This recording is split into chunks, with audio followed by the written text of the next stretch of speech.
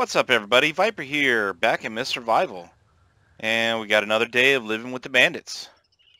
Uh, they they managed to die last night during the the night infected, so they're not with me today, but they'll be back. They always are. I ended up building these uh, bear fire barrels, uh, mainly because I needed more uh, charcoal if you build this, if you put in 8 wood, you get like 15 uh, charcoal out of it. So I kind of like using these if I'm actually going to be doing a lot of, uh, making a lot of ammo. And I also did build a little cabin over here. Um, extended it out another row. I tried to put this uh, little cabin kind of even, but it was giving me issues when you build on top of stuff, like if you look at this door, well, it's all right there, but earlier it was setting way down in. See how it's down? And I couldn't get in or out of it, so I had to break that up, and then I had to put it on one of these stupid pillars, and then slowly bring it down, and it was just a pain in the ass, so it's not exactly straight, but it works. So now I got my NPCs up here. I moved my uh, my other workbench and my uh, saw machine. And then Scott likes to stand under here, and I have to jump out of my damn my tower onto my uh, my little house over here to get out. But it's just one of those problems you're going to have to deal with the uh, your NPCs when you build something like this. Is how to keep them from going where you don't want them to go. Like I could probably put some uh, fencing to keep them just on this one platform. But they'll be alright. I ain't worried about it. But today we're going to go over the reloading bench, reloading ammo, and uh, all that nonsense. So we go into our build menu and we scroll way down and we're going to need uh, two copper ingots, two iron ingots, 10 uh, wood planks, four gears, and a saw and a hammer. And it'll take 60 minutes. So we're just going to put that over here. I really wanted my NPCs up here because I need them to... I'm lazy. I ain't going to say nothing else. I'm just, I just don't want to do all the, the crafting and crap for all this stuff one of the first things we're going to have to do, and we can't have our NPCs do this, we got to do it ourselves. We got to go into uh, our crafting from our inventory, and we got to make gunpowder. So let me go ahead and uh, chop this up into uh, gunpowder, and I'll bring you right back. And this is a whole lot of time, so I'm going to have to do this in uh, short spurts, like 12 hours. But I kind of want to make sure I'm safe when I'm doing this. Alright, one thing that was kind of unusual when I came up here to sleep is a uh, infected spawned right on top of my black, blacksmith station. So I've always thought that the infected spawn radius kind of shrinks down when you sleep. But that actually, you know, it. I actually saw one spawn right there while I was sleeping. So you got to be careful when you sleep, and that's why I'm coming up here to uh, making all this gunpowder because I don't want to an infected accidentally spawn somewhere.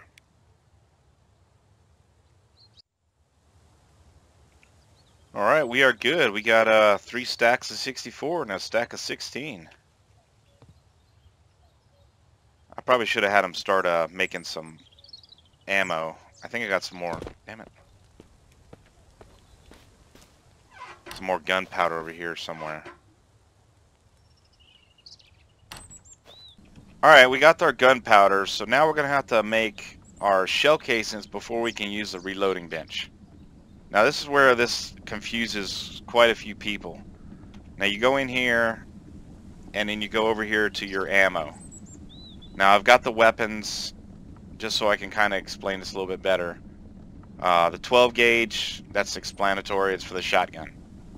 Now this Cal 5 space 4.5 cartridge, this is for your M4.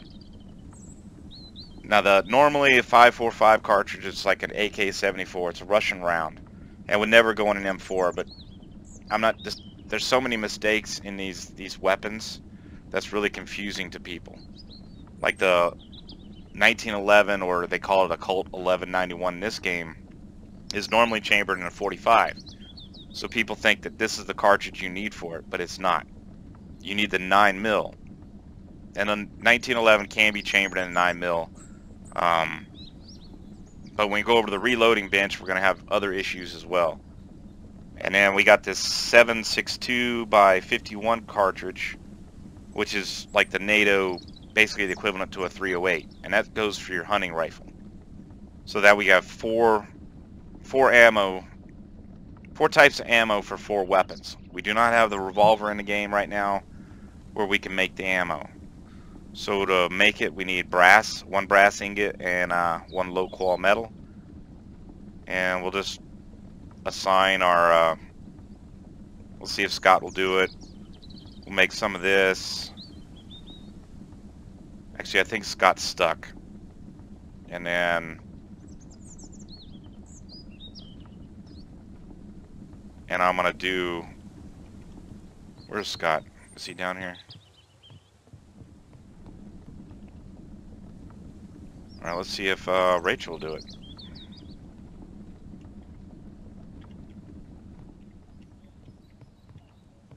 Oh good, she teleported. She was like right over there. So now she's making the ammo. And I'm going to go ahead and make this one myself. And then we're going to need some of this. Alright, so we got the uh, shotgun with the shotgun cartridges. The M4 with the Cal 5 space 45 cartridge, the 1191 with the 9 mil cartridge, and the hunting rifle with the 762 by 51. Alright, so now we got those, we can go to the uh, reloading bench. Now this first one is our 9 mil, which is for the Colt 1191 as they say it in the game. But if you look down here, it says for the G8 pistol, which is Glock 18. It's like a machine pistol, like a full auto pistol. And then you got the Tokarev TT33 pistol, which is, it's weird. It's like that's a 7.62 by, I don't know, 20 something. It's a Russian pistol that can't put a 9 mil inside of a TT33. It's just not gonna, it's not gonna fit. You know, it's a lot bigger. So then you got the uh, rifle ammo. This is for your M4. Now it says loaded in a Dragunov rifle, which is like 70, 7.62 by 54. It's a big ass round. And then you got the M4 rifle, which is normally 5.56, which is a whole lot smaller than that Dragunov rifle. So I don't, don't know what he's doing here, um, but that's what you need. So you have your 1191 here, your rifle ammo is your M4, your 12 gauge is your shotgun, and then the hunting rifle is the hunting rifle. So we can go ahead and make uh, however many we got. And we can also tell uh, Rachel to do this as well. Ooh. Cancel. I need to make space. I was about to really screw up because she was going to start chucking those shells all over the place. Alright, we're just going to make our uh, M4 ammo ourselves. We're going to have her make some uh, 12 gauge shells. Now you got the 12 gauge actually takes two uh, gunpowder per round. So if you want to make a lot of shotgun rounds, you're going to be using up a lot of uh, gunpowder. And then we're going to do our hunting rifle ammo while Rachel does the other stuff. Alright, and then our ammo's done. So that's how you make ammo in the game. It's really confusing, but uh, once you understand what ammo goes with what, what shell casings go with what, then it's it's not so bad. I just wish you would just put generic terms on this and not not try to get all technical because he's really, really confusing some people. And then if we want to upgrade this so we can make grenades, we need uh, 10 scrap, 6 iron ingots, 6 gears, and then uh, 2 of these military components. So we're going to go ahead and do that. And now we can make grenades. I also need scrap for these grenades. Let me get some scrap the grenades take four gunpowder and then one grenade fragment, and then one metal scrap. For the most part, grenades are kind of worthless. Uh, they are kind of fun to use, but uh, it's really pointless. So we're just gonna have we're gonna have Rachel go ahead and do that while we mess with these uh, broken weapon parts. Now for the broken weapon parts, you're gonna need a level three workbench, and then this is a uh, level one. You're gonna need 10 planks, six scrap, and uh, two gears to make upgrade this to level two. And then this one,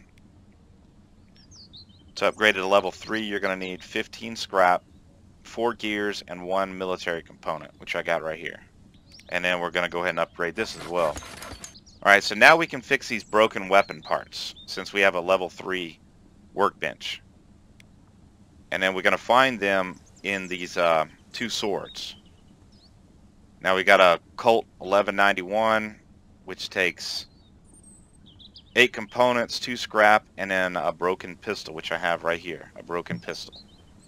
I don't have a broken revolver, I just haven't found one yet. But you see what it takes, 16 components and a broken revolver. The M4 takes 8 scrap, 4 components, and then one of these, a broken assault rifle. And then your shotgun, 16 components, 4 scrap, and then a broken shotgun, which is right here. Now the hunting rifle is uh, 16 components and one broken hunting rifle, which is here. Now you have this this weapon part, which is stackable, which has no purpose in the game whatsoever. So you don't. I kind of collect them, but sometimes I just throw them away and I don't even bother with them. Till they have a use, it's kind of pointless. Because if you look at the picture, it's it's got a part from a uh, 1911. It's got the bolt from uh, the hunting rifle. It's got a sight from the M4 and a cylinder from the rifle. So it's just a mixed mash of pieces. And I have no idea what it's for right now, and maybe they'll tell us later. It's kind of like the blueprint, no pur no purpose. So that's how you can make all the the guns if you really want to you uh, make them. Sometimes you may only find broken hunting rifles. You may have to do this if you want the hunting rifle. Alright y'all, so that pretty much went over how to make gunpowder, how to make your shell casings from the anvil, and then how to use the reloading bench to actually make the, the ammo itself and uh, also grenades. And then we went over the level 3 workbench so you can craft actual weapons from these broken weapon parts you find. And hopefully it'll clear up some of the confusion that people have when they're then they're trying to make ammo with which shell casing to use uh, in the anvil for each weapon. But I hope this helps. Thanks for watching, and I'll catch y'all later.